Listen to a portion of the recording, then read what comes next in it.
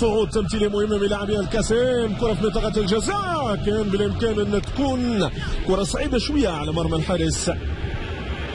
لحوصي ياسين مشات كرة للكاسيام ياسين لحوصي يتدخل بعد الخطورة. مازال الخطورة كوليبالي بلمسة للطرف الأيمن كريم الهاني. مبعد من دفاع اولمبيك خريبكا الكوكب السيناريو المتوقع لهذه المباراة. الكوكب سيضغط مع انطلاقة هذه المواجهة والمساند بالألاف من عشاقه ما يقارب 6000 و 7000 مناصر. على أن الكوكب عنده جماهير أكبر بكثير من العدد الذي نتابعه في مباريات النادي في البطولة الوطنية في المنافسات الوطنية. الكوكب نتذكر قبل ربما سنتين من اليوم حسن بن أبيشة والكاسيم الكوكب المراكشي. إمكانية تحضير الكرة. تتحول من جديد خالد حشادي. خالد يمرر كرته لجوج جوج مشى كرته لجوج وتدخل الحارس. سفيان برحو. يبعد الخطورة في التماس كان تمريرة ممتازة جدا من خالد حشادي. استخلاص الكرة بشكل ممتاز من صلاح ضمين. خالد حشادي مر الكرة في العمق لكن خروج محله في زمانه في مكانه. لبروحو الذي يبعد الكرة في التماس من كوليبالي. كوليبالي كريم الهاني. كريم كرة للزهراوي. الزهراوي يبحث عن مساحات لتمرير الكرة من الطرف الأيمن. سيتوغل في منطقة الجزاء. بالامكان انه يكون أفضل مما كان في الكرة الماضية. الكوكب كان قريبا من تسجيل هدف أول. بعمل يقدر ويشكر ويحترم عليه كثيرا. زيا من الطرف الأيمن. مشات كرة من الكرة الثابتة. كانت صعيبة شوية. ضربة خطأ للكاسين في القائمة الثانية. ممتازة جدا. وتدخل ياسين الحواسي الحواسي يتدخل عكس الهجمة مدرب جواد الميلاني الذي آه تعاقد مع الفريق أقل من شهر ربما أسبوعين فقط. هذه كرة للكاسين تدخل ياسين الحواسلي جواد الميلاني الذي ينضاف لعزيز العامري ولفوزي جمال ولعدد كبير من المدربين الذي يظهر على انه الخلل ليس في التدبير التقني لهذه المجموعة.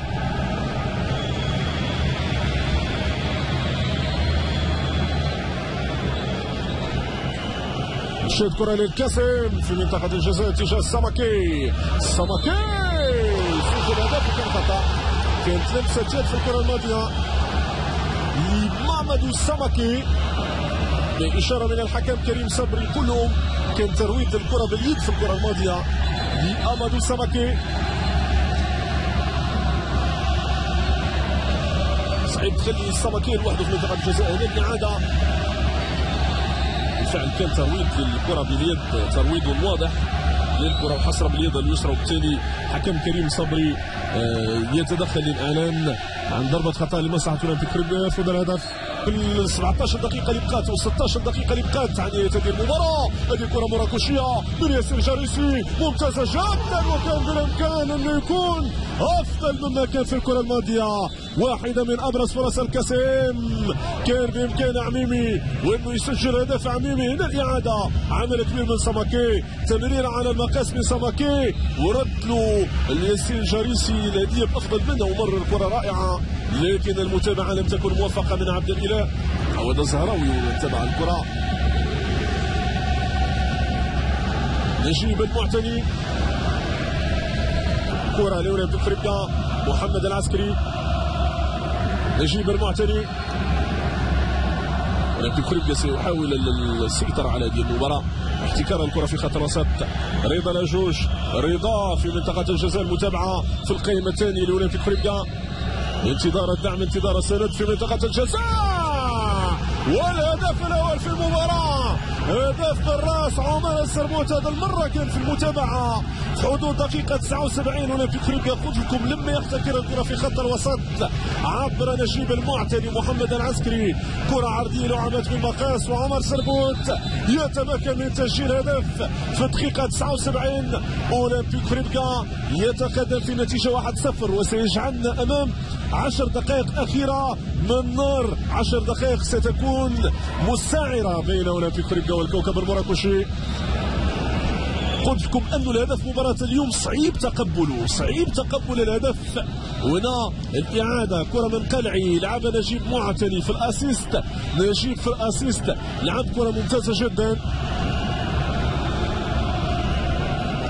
كرة للكوكب المباراة لم تنتهي بعد لم تنتهي المباراة بعد هدف جميل لعمر سربوت الذي ساعد جزء كبير من إمكانياته ومن عطاءاته ومن كفاءته خط وسط عنده نوايا هجوميه وبالتالي رشيد الطوسي يبحث عن هدف آخر مستغلا الاندفاع كل لاعبي الكاسين كرة من أسامة المسكوري أسامة أسامة مشى كره أسامة مرر كره هدف كرة هدف